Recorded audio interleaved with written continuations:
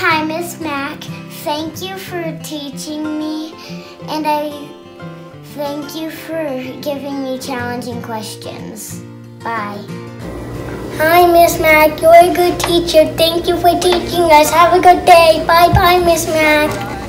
My favorite thing is about Miss Mac that she calls us rock stars and that um, that, um she has the best parties. Hi, Miss Mac. Um, I'm making this video for you because I love you. And um, I'm here with my buddy Cat, Adam, and we're going to be telling you some things what we love about you. Because the pain will soon be gone. Okay. I guess it's just gonna be me today. Um, I love you because you're crazy like me. You like chips and cheese like me. Which you work hard to teach us, and you and you're hard on us because you love us. I love you. Bye. When you dream, Hi, Miss Mac. Miss you and love you. and I'm gonna show you something. to laugh out loud, cause it will carry all your cares away. And when you see, see the beauty all around and in yourself, and it will help feel okay. And when you pray and pray for strength, to help you carry I love on. Miss Mac because she does science and it's really fun. And Hi, Miss dream Mac.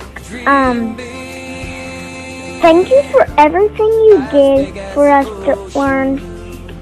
Hello, Miss Mac. when you dream I really appreciate how uh, you teach me. I love you a whole lot. And thank you for helping me learn. And I love you and miss you.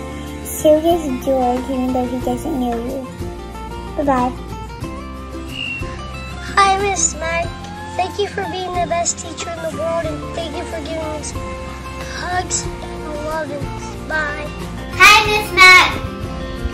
I like I like being in your class because you challenged me, you taught me integrity, and now I'm a rock star forever. Hey now, you're a rock star. Get the show on, get paid. All